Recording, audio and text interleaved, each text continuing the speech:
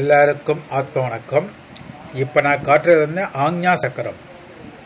இப்போ நான் காட்டுறது வந்து ஆக்ஞா சக்கரம். இங்கே தான் யா அப்படின்ற மந்திரத்தை சொல்லணும். ஆக்ஞா சக்கரத்தில் தான் யா அப்படின்னு மந்திரத்தை மனசுக்குள்ளே சொல்லணும்.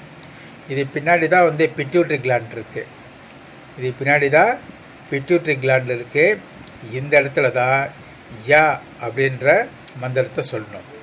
இப்போ ஒன்றுனா திருப்பி சொல்கிறேன் மூலாதாரம். மூலாதாரத்தில் ஓம் மந்திரம்.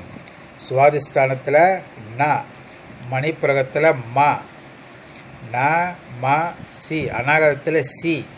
இது வா. விசித்தி வந்து வா. ஆஞ்ஞா சக்கரத்தில் யா. இப்போது இந்த ந ம சி வா ய. இந்த அஞ்சு எழுத்தும் உங்களுக்கு தெரியும். இதுதான் சிவபெருமானோட அஞ்சு எழுத்து மந்திரம். உயிரோட அஞ்செழுத்து மந்திரம் நா ம சி வா ய மூலாதாரத்தில் ஓம் மந்திரம் சொல்லணும்.